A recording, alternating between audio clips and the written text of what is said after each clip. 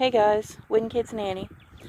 Well, in spite of the fact that it is February in East Tennessee, and uh, usually very, very harsh time of year, and in spite of almost two and a half weeks of steady wind and rainstorms, there is some life in my berry patch which I am very surprised at and very grateful to see.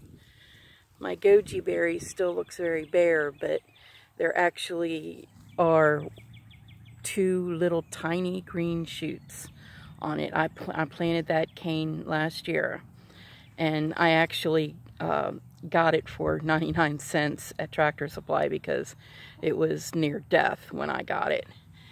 But as you can see, in other places in the berry patch, there are little tiny signs of life everywhere. So I'm going to continue with these new raspberry canes that I'm putting in this year and we'll see how they do. And I'll see you next time.